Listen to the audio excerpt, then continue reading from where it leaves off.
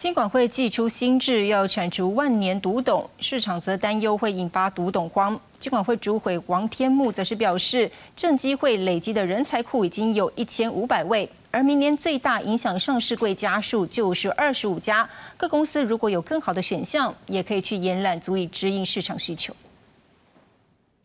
为了让国内上市贵公司的公司治理能顺利与 OECD 新版公司治理原则接轨，强化董事会的独立性，监管会在永续发展行动方案中，针对独立董事的人数与任期提出新制度。自二零二七年起，上市贵公司全数独董任期都不能超过三届，而且全体上市贵公司独董席次也不能少于三分之一，引发业界担忧可能出现独董荒。上午，监管会主委黄天木在立法院表示。政机会从二零零二年起就已经建立读懂人才资料库，里面有一千五百多位人选可运用。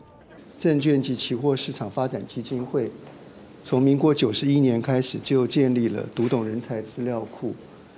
那目前大概有一千五百多位，明年真正遇到这个三分之一要调整的。家数其实也很有限。根据金管会的统计，目前资本额一百亿元以上的上市贵公司，独董任期超过九年任期必须在明年调整的有二十五家上市贵公司。经清查，有些公司只差一席董事要调整。若依现行的规定，每位独立董事人选最多可以担任四家上市贵公司的独董，等于人才资料库中已经有一千五百多位人选，六千人次，不至于有独立董事人才不足的问题。市场最大的规模就是二十五家的上市贵公司有这种需求，我们也去了解，有些公司可能只差一起独立董事要做调整，所以基本上它的影响数字最大就是二十五家。黄天木强调，如果上市贵公司要找新独董，也不一定要从资料库里来选独董人选，如果各公司有更好的选项，也都可以去延揽。记者魏尔张国良推报道。